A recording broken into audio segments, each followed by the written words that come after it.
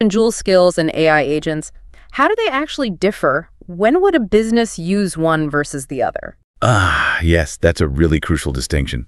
Let's start with Joule skills. Think of these as being designed for uh, rule-based repetitive tasks. They follow a known path, right? Okay. Problem A leads directly to solution B.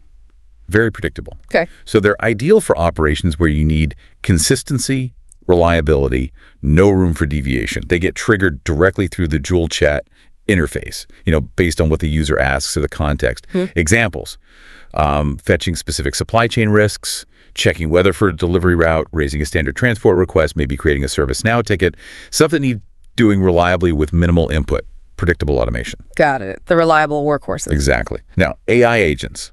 These are the heavy hitters. They're designed for the more complex, uh, dynamic business challenges.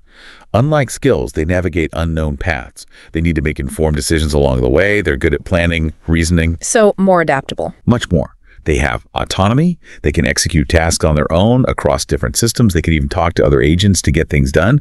And they use those large language models, the GPTs, the Geminis, for their intelligent operations. That's what lets them understand nuance, generate text, make complex choices. Okay.